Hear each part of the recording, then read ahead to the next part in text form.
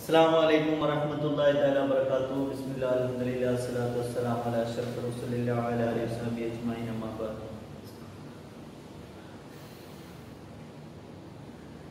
അപ്പോൾ കഴിഞ്ഞ പാഠത്തിൽ നമ്മൾ പറഞ്ഞത് equal right to vote vote ചെയ്യാനുള്ള എല്ലാവർക്കും വോട്ട് ചെയ്യാനുള്ള തുല്യാവകാശത്തെ കുറിച്ചാണ് കഴിഞ്ഞ ക്ലാസ്സിൽ നമ്മൾ ചർച്ച ചെയ്തത്. മനസ്സിലാകുന്നുണ്ടല്ലോ ഇനി ഇനിയിപ്പോ നമ്മൾ ചർച്ച ചെയ്തത് അതർ കൈൻഡ്സ് ഓഫ് ഈക്വാലിറ്റി സമത്വത്തിന്റെ മറ്റു ഇനങ്ങൾ. മനസ്സിലായോ? സമത്വം നമുക്ക് എവിടുന്നൊക്കെ ഈക്വാലിറ്റി എവിടുന്നൊക്കെ നമുക്ക് സമത്വം ലഭിക്കുന്നു. മനസ്സിലാകുന്നുണ്ടല്ലോ തുല്യനീതി എവിടെ തുല്യനീതിയുടെ കാണ വശങ്ങൾ അപ്പോ കാന്ത ഈസ് കാന്തയാകുന്നു. വൺ ഓഫ് മെനി പീപ്പിൾ ധാരാളം ജനങ്ങളിൽ നിന്നുള്ള ഒരു വ്യക്തിയാകുന്നു ആരെയും Kantha. Who live in a democratic India. അവൾ എവിടെ ജീവിക്കുന്നു? നമ്മുടെ ജനാധിപത്യ ഇന്ത്യയിൽ ജീവിക്കുന്ന ഒരു വ്യക്തിയാണ് ആര്? മറ്റു വ്യക്തികളെ പോലെയുള്ള ഒരു പച്ചയായ മനുഷ്യനാണ് ആര്? കാന്ത എന്ന് പറയുന്ന സ്ത്രീയും. ഹു ഹാവ് അവൾക്ക് ഉണ്ട്. റൈറ്റ് ടു വോട്ട് വോട്ട് ചെയ്യാനുള്ള അവകാശവും അവൻ അവൾക്ക് ഉണ്ട്. ബട്ട് പക്ഷേ whose daily living and working condition are far from equal. മനസ്സിലാകുന്നുണ്ടല്ലോ? അവളുടെ ദൈനംദിന ജീവിതവും അവളുടെ ദിവസ ജോലിയും ഡെയിലി ദിവസേനയുള്ള അവളുടെ ജോലിയും ആർ ഫാർ ഫ്രം ഈക്വൽ സമത്വത്തിൽ നിന്നും തുല്യതയിൽ നിന്നും വിദൂരതയിലാണ്. മനസ്സിലായോ? Far from equal മനസ്സിലാകുന്നുണ്ടല്ലോ? Far from equal. മനസ്സിലാകുന്നുണ്ടല്ലോ ഏത്? തുല്യതയിൽ ഈക്വൽ എന്ന് പറഞ്ഞാൽ സമത്വം. സമത്വത്തിൽ നിന്നും വളരെ അകലെയാണെന്ന് പറഞ്ഞാൽ അവൾക്ക് ഇവളുടെ അവളുടെ ഡെയിലി ലൈഫിലും അവളുടെ വർക്കിങ്ങിലും ജോലിയിലും ജോബിലും അവൾക്ക് എന്ത് ലഭിക്കുന്നില്ല? സമത്വം ലഭിക്കുന്നില്ല. മനസ്സിലാകുന്നത് എല്ലാവർക്കും ലഭിക്കുന്ന പോലെയുള്ള സമത്വം അവൾക്ക് ലഭിക്കുന്നില്ല. People in India sorry living living അവളുടെ ഡെയിലി നിത്യ- ദൈനംദിന ജീവിതവും എന്റെ വർക്കിംഗ് കണ്ടീഷൻ അവരുടെ ജോലി സമ ജോലി സ്ഥ- സ്ഥലത്തെയുള്ള അവളുടെ ആ ചുറ്റുപാടുകളൊക്കെ എന്താവുന്നു? ഫാർ ഫ്രം ഈക്വൽ ഈക്വലിൽ നിന്നും സമത്വത്തിൽ നിന്നും വളരെ അകലെയാണ്. അപ്പാർട്ട് ഫ്രം പുവർ ഒരു പാവപ്പെട്ടവനായിരിക്കുക എന്നത് മനസ്സിലായോ? അപ്പാർട്ട് ഫ്രം പീപ്പിൾ ഒരു അപ്പാർട്ട് ഫ്രം ബീങ് മനസ്സിലായോ? ബീങ് പുവർ എന്ന് പറഞ്ഞാൽ ഒരു എന്ത് പാവപ്പെട്ടവനായിരിക്കുക. പീപ്പിൾ ഇൻ ഇന്ത്യ പാവപ്പെട്ടവനായ ജനങ്ങൾ ഇൻ ഇന്ത്യ ഇന്ത്യയിലുള്ള പാവപ്പെട്ട ജനങ്ങൾ എക്സ്പീരിയൻസ് അവർ എന്ത് ചെയ്യുന്നു? അനുഭവിക്കുന്നു. എന്ത്? ഈക്വാലിറ്റി ആ സമത്വം. മനസ്സിലായോ? എല്ലാവർക്കും സമത്വം ലഭിക്കുമ്പോൾ പുവേഴ്സ് മനസ്സിലായോ? ഇന്ത്യയിൽ ജീവിക്കുന്ന പാവപ്പെട്ട ജനങ്ങൾ. മനസ്സിലായോ? പുവർ ഇൻ ഇന്ത്യ ഇന്ത്യയിലുള്ള പാവപ്പെട്ട ജനങ്ങൾ എന്ത് ചെയ്യുന്നു? എക്സ്പീരിയൻസ് അവർക്ക് അനുഭവപ്പെടുന്നു. എന്ത്? ഇനീക്വാലിറ്റി മനസ്സിലായോ? അസമത്വമാണ് അവർക്ക് അവർക്ക് അനുഭവിക്കാനുള്ളത്. മനസ്സിലാകുന്നുണ്ടല്ലോ? അവർക്ക് എപ്പോഴും അനുഭവിക്കാനുള്ളത് എന്താണ്? എക്സ്പീരിയൻസ് ഇനീക്വാലിറ്റി അവർക്ക് എപ്പോഴും അനുഭവിക്കാനുള്ളത് അസമത്വത്തെയാണ്. മനസ്സിലായ? ഭൂമി അഭിമുഖീകരിക്കുന്നത് അവൻ എന്താണ്? തുല്യതയില്ല നീതികളാകുന്നു. മനസ്സിലായോ? അഥവാ എല്ലാവർക്കും തുല്യമല്ലാത്ത നീതികളാകുന്നു അവർക്ക് ലഭിക്കുന്നത്. എല്ലാവർക്കും കിട്ടുന്നത് പോലെയുള്ള അവകാശം അവർക്ക് ലഭിക്കുന്നില്ല. എങ്ങനെയൊക്കെ ഇൻ ഡിഫറെന്റ് വേസ് വ്യത്യസ്തമായ രീതിയിൽ അവർക്ക് ഇനീക്വാലിറ്റിയാണ് അവരെപ്പോഴും അഭിമുഖീകരിക്കുന്നത്. ആര്? റിച്ച് പീപ്പിൾസ് ആണോ? അല്ല. പുവർ പീപ്പിൾസ് മനസ്സിലായോ? പാവപ്പെട്ട ജനങ്ങൾ എവിടെയും അഭിമുഖീകരിക്കുന്നത് ഇനീക്വാലിറ്റിയാണ് ആണ്. നമുക്കൊന്ന് നോക്കാം. വാട്ട് വാട്ട് ദിസ് മീൻസ് ഇത് എന്താണ് അർത്ഥമാക്കുന്നത് എന്ന് നമുക്കൊന്ന് ചെക്ക് ചെയ്യാം. By reading the two stories നമുക്ക് താഴെ കൊടുത്തിരിക്കുന്ന രണ്ട് കഥകൾ. മനസ്സിലായോ? ഗിവൺ ബിലോ താഴെ കൊടുത്തിരിക്കുന്ന രണ്ട് കഥകൾ മനസ്സിലാക്കി കഥകൾ നോക്കിക്കൊണ്ട് നമുക്ക് എന്താണ് ഈ അസമത്വം കൊണ്ട് അസമത്വ ഭാവം ഇന്ത്യയിൽ ജീവിക്കുന്ന പാവപ്പെട്ട ജനങ്ങൾക്ക് എന്ത് ലഭിക്കുന്നില്ല? നീതി ലഭിക്കുന്നില്ല. അവരെപ്പോഴും ഇനീക്വാ ഇനീക്വാലിറ്റിയാണ് ഫേസ് അഭിമുഖീകരിച്ച് കൊണ്ടിരിക്കുന്നതെന്ന് പറഞ്ഞു. അതിനുള്ള രണ്ട് ഉദാഹരണങ്ങളിലൂടെ നമുക്ക് അത് ചർച്ച ചെയ്യാം. ഈച്ച് ഓഫ് ദീസ് ഇവകളിൽ നിന്നുള്ള ഓരോന്നും മനസ്സിലായി? ഈച്ച് ഓഫ് ദീസ് ഈ രണ്ടെണ്ണം പറഞ്ഞു. ഈ രണ്ടെണ്ണത്തിൽ നിന്നുള്ള ഓരോന്നും is based on real incidents in people's lives and reflect the different kinds of inequalities that exist in India. മനസ്സിലാകുന്നുണ്ടല്ലോ? ഇപ്പോ ഇവിടെ രണ്ട് കഥകൾ കൊടുത്തിരിക്കുന്നു എന്ന് പറഞ്ഞു. ഇനി രണ്ട് കഥകൾ ഈച്ച് ഓഫ് ദിസ് ഈ കഥകളിൽ നിന്നുള്ള ഓരോന്നും ബേസ്ഡ് അതുണ്ടാക്കുന്നു അടിസ്ഥാനമാക്കിയിരിക്കുന്നു ഓൺ റിയൽ ഇൻസിഡൻസ് യഥാർത്ഥ സംഭവം. മനസ്സിലാവുന്നുണ്ടല്ലോ? റിയൽ ഇൻസിഡന്റ് യഥാർത്ഥ സംഭവം. ഇൻസിഡന്റ് എന്ന് പറഞ്ഞാൽ സംഭവം. യഥാർത്ഥ സംഭവങ്ങളെ അടിസ്ഥാനമാക്കിക്കൊണ്ടാണ് താഴെ കൊടുത്തിരിക്കുന്ന രണ്ട് കഥകളും ഉള്ളത്. എന്തിനടിസ്ഥാനമാക്കിയിരിക്കുന്നു in പീപ്പിൾ ലിവ്സ് മനസ്സിലായോ? ജനങ്ങളുടെ ജീവിതം. ആൻഡ് റിഫ്ലക്ട്സ് അതുണ്ടാകുന്നു അവരുടെ ജീവിതം പ്രതിഫലിക്കുന്നു. ഇൻ എന്തിനെ? ഡിഫറെന്റ് കൈൻഡ്സ് ഓഫ് ഇനീക്വാലിറ്റി ഇത് സമത്വമില്ലായ്മയുടെ വ്യത്യസ്ത മുഖങ്ങളെ അതുണ്ടാകുന്നു നമുക്ക് ചർച്ച ചെയ്ത് തരുന്നു നമുക്ക് വ്യക്തമാക്കി തരുന്നു. ദാറ്റ് അതെന്താകുന്നു? ഇനീക്വാലിറ്റി എന്താകുന്നു? ദാറ്റ് എക്സിസ്റ്റ് ഇൻ ഇന്ത്യ ഇന്ത്യയിൽ നിലനിൽക്കുന്ന ഇന്ത്യയിൽ നിലനിൽക്കുന്ന പാവപ്പെട്ട ജനങ്ങൾ അഭിമുഖീകരിച്ചു കൊണ്ടിരിക്കുന്ന രണ്ട് കഥകളിൽ നിന്നുള്ള രണ്ട് കഥകളാകുന്നു താഴെ കൊടുത്തിരിക്കുന്ന രണ്ട് ഈ രണ്ടെണ്ണവും. മനസ്സിലാകുന്നുണ്ടല്ലോ അപ്പോ അത് വെറും കെട്ടുകഥകളാണോ അല്ല അത് ഇന്ത്യയിലെ പാവപ്പെട്ട ജനങ്ങൾ അഭിമുഖീകരിച്ചു കൊണ്ടിരിക്കുന്ന അവരുടെ ജീവിതത്തിൽ മുയച്ചു നിൽക്കുന്ന രണ്ട് സ്റ്റോറികളെയാണ് താഴെ കൊടുത്തിരിക്കുന്നത്. അല്ലാതെ വെറും കെട്ടുകഥകൾ അല്ല.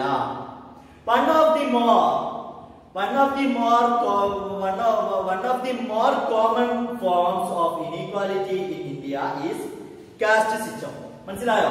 ഇന്ത്യയിൽ പല അസമത്വങ്ങളും തുല്യ എല്ലാവർക്കും തുല്യാവകാശങ്ങൾ ലഭിക്കുന്നില്ല. അവരുടെ അവകാശ ദംശനങ്ങൾ എന്താകുന്നു? ഇന്ത്യയിൽ നടക്കുന്നു. മനസ്സിലാവുന്നുണ്ടല്ലോ? വൺ ഒന്ന് എന്തിന്റെ ഒന്ന്? ഓഫ് മോർ കോമൺ ഫോം സാധാരണ കാണുന്നതിൽ നിന്നുള്ള അധികത്തിന്റെയും ഒന്ന്. അഥവാ സാധാരണ ഇന്ത്യയിൽ നടക്കുന്ന ഇനീക്വാലിറ്റിയുടെ പ്രധാന മുഖം എന്താണ്? Caste system. അതെന്താകുമ്പോ ജാതി.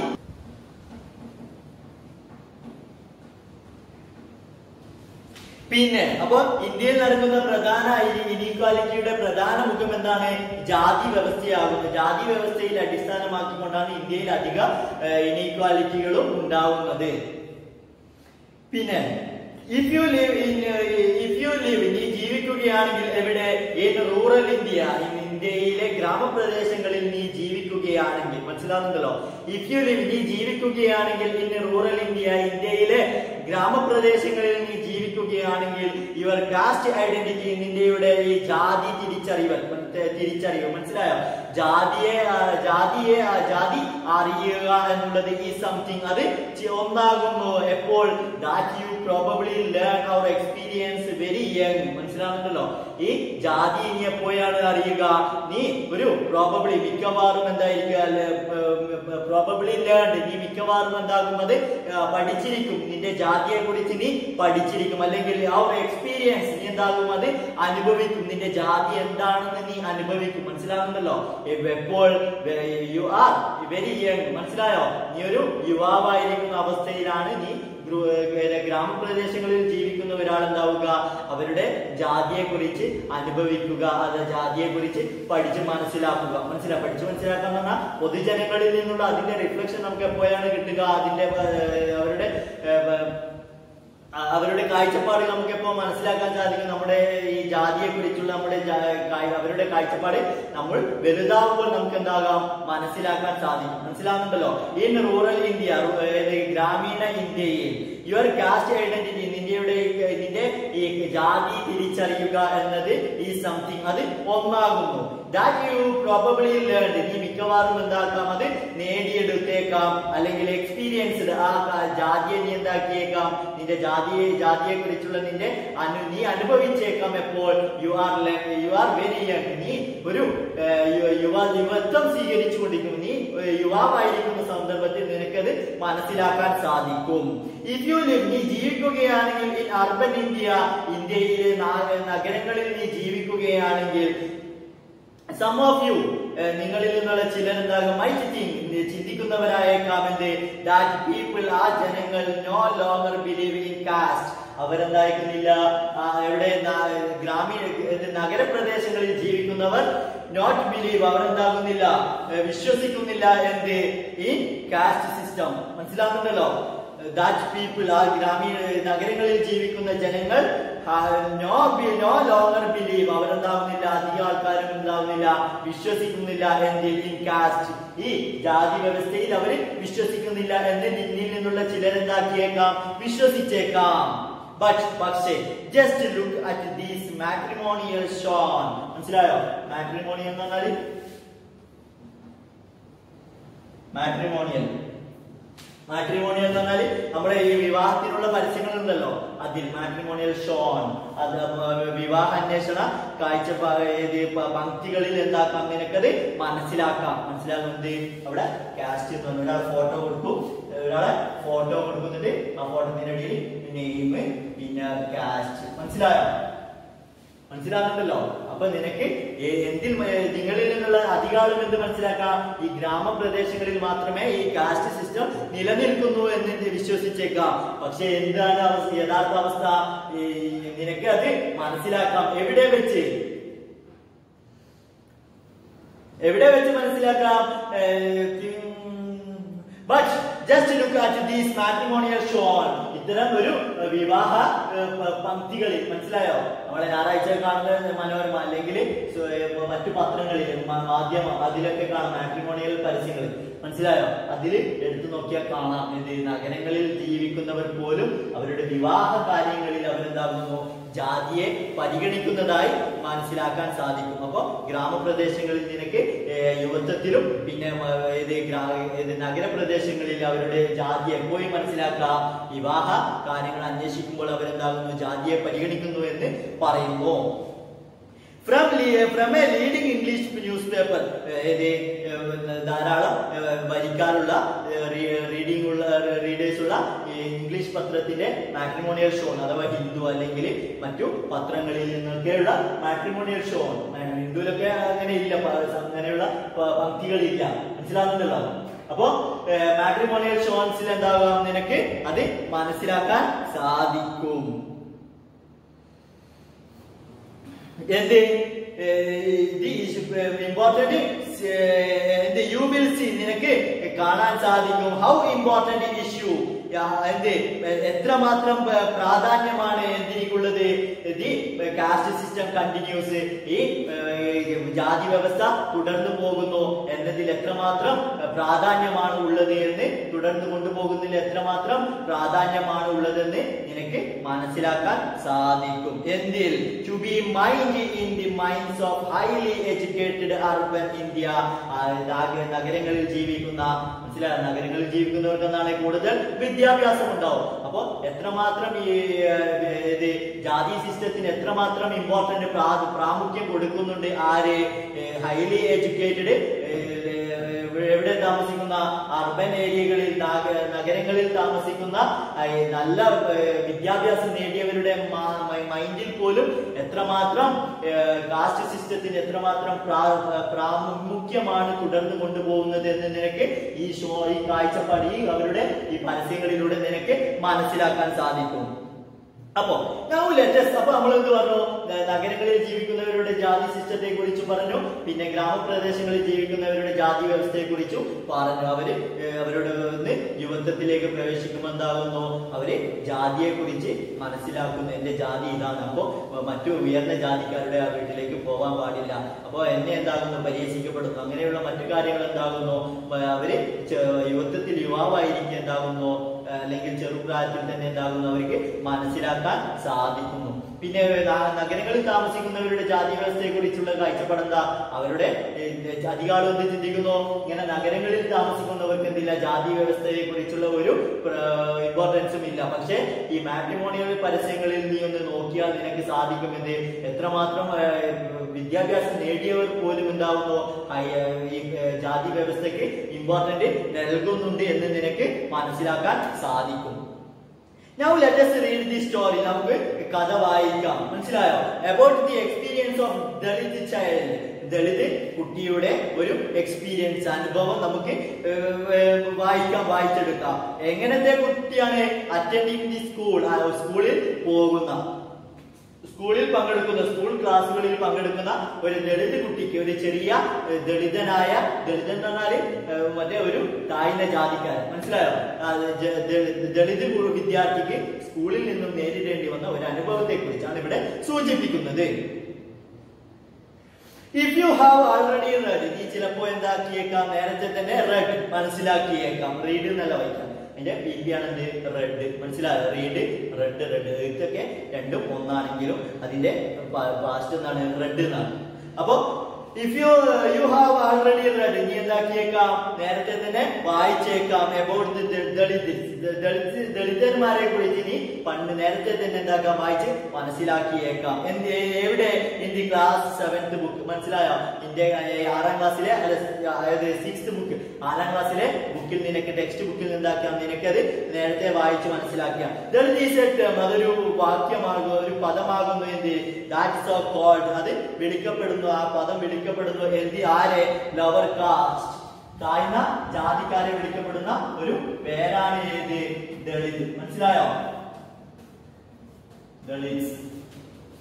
എന്നുള്ളത് താഴ്ന്ന ജാതിക്കാരെ വിളിക്കാൻ. യൂസസ് അത് യൂസ് ഉപയോഗിക്കുന്നു ടു അഡ്രസ് ദംസെൽസ് അവരെ അഭിസംബോധന ചെയ്യാൻ അവരെ കുറിച്ച് പറയാൻ വേണ്ടി ഉപയോഗിക്കുന്ന താഴ്ന്ന ജാതിക്കാരെ കുറിച്ച് പറയാൻ വേണ്ടി ഉപയോഗിക്കുന്ന പദം പദമാണ് എന്ത്? ദളിത് എന്ന പദം. ദളിത് മീൻസ് അവർ ദളിത് എന്നത് മീൻസ് അർത്ഥമാക്കുന്നു ബ്രോക്കൺ ബ്രോക്കൺ എന്ന് പറഞ്ഞാൽ പാപ്പരായ അല്ലെങ്കിൽ എന്ത് ജീവിക്കാൻ ഒരു ഏത് ഒരു വലിയ പ്രയാസങ്ങൾ നേരിടുന്ന ഒരു ജനത. മനസ്സിലായോ? അഥവാ നല്ല എക്കണോമിക്കൽ ബാക്ക്ഗ്രൗണ്ട് ഇല്ല പിന്നെ കുടുംബപരമായ ഒരു ബാക്ക്ഗ്രൗണ്ട് ഇല്ല ഒന്നുമില്ല. മനസ്സിലായോ? അങ്ങനെയുള്ള ഒരു പാവപ്പെട്ട ഒരു ജനത എന്നാണ് ഈ ദളിത് കൊണ്ട് ഉദ്ദേശിക്കുന്നത്. ബൈ യൂസിങ് ദിസ് വേർഡ് മനസ്സിലായോ? ഈ വേർഡ് ഉപയോഗിക്കുമ്പോൾ ലവർ കാസ്റ്റസ് ആർ പോയിന്റ് ഈ പദം ഉപയോഗിക്കുമ്പോൾ അത് ആരെയാണ് സൂചിപ്പിക്കുന്നത്? ലവർ കാസ്റ്റസ് ഈ താഴ്ന്ന ജാതിക്കാരെ അത് സൂചിപ്പിക്കുന്നു. ഹൗ ദേ വേർ അവർ എങ്ങനെ എന്തായിരുന്നു എന്ന് ദളിത് ദളിത് എന്ന് പറഞ്ഞാൽ അവർ എന്തായിരുന്നു? പിന്നെ കണ്ടിന്യൂ ടു ബി അവർ എന്തായിക്കൊണ്ടാണ് തുടരുന്നത്? സീരിയസ്ലി ഡിസ്ക്രിമിനേ ഡിസ്ക്രിമിനേറ്റഡ് ഡിസ്ക്രിമിനേറ്റ് എന്ന് ഡിസ്ക്രിമിനേഷൻ ഡിസ്ക്രിമിനേഷൻ എന്ന് പറഞ്ഞാൽ വേർതിരിക്കുക. മനസ്സിലായോ? ഡിസ്ക്രിമിനേറ്റഡ് അവരെന്താകുന്നു? വേർതിരിക്കപ്പെടുന്നു അഗെയിൻസ്റ്റ് മറ്റുള്ളവരിൽ നിന്നും ഇവരെന്താകുന്നു? ഒരു പ്രത്യേകം വേർതിരിക്കപ്പെട്ട ഒരു ചേരിതിരിക്കപ്പെട്ട ഒരു വിഭാഗമായിട്ടാണ് ആരെ കണക്കാക്കപ്പെടുന്നത്? ഈ ദളിതന്മാരെ കണക്കാക്കപ്പെടുന്നത്. അപ്പോ ഇവിടെ രണ്ട് കഥകളെ കുറിച്ച് പറയാന്ന് പറഞ്ഞു. പറഞ്ഞോ? ഇല്ല. നമുക്ക് ഏതായാലും കഥ എന്താക്കാം അടുത്ത ക്ലാസ്സിൽ പറയാം. മനസ്സിലായോ?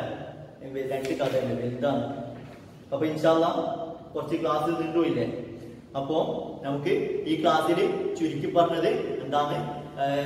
ചുരുക്കിയിട്ട് ഓരോ കാര്യങ്ങൾ എന്താക്കുക? മനസ്സിലാക്കി വെക്കാം മനസ്സിലായോ? അപ്പോ ഞാനിത് പാഠം തീർക്കാൻ വിചാരിച്ചു പക്ഷേ സാധിച്ചില്ല. അപ്പൊ ക്ലാസ് നീണ്ട കാരണം കൊണ്ട് നിങ്ങൾ ഈ ഇപ്പം പറഞ്ഞ കാര്യങ്ങളൊക്കെ എന്താകുക ദളിത് ദളിത് എന്ന് പറഞ്ഞാൽ ആരാണ്? പിന്നെ ഈ ഗ്രാമീണ പ്രദേശങ്ങളിൽ പിന്നെ നഗരങ്ങളിൽ താമസിക്കുന്നവർക്ക് ഇവരിൽ ഉണ്ടാവുന്ന ഈ കാസ്റ്റ് സിസ്റ്റത്തെ കുറിച്ചുള്ള ഒരു ഔട്ട്ലുക്ക് എന്താകുക ഉണ്ടാക്കി വെക്കുക. മനസ്സിലാകുന്നുണ്ടല്ലോ അപ്പോൾ ഈ രണ്ട് കഥകൾ നമുക്ക് എന്താ അടുത്ത ക്ലാസ്സിൽ പറയാം. അസ്സാം വലൈക്കും വാഹമത്തുള്ള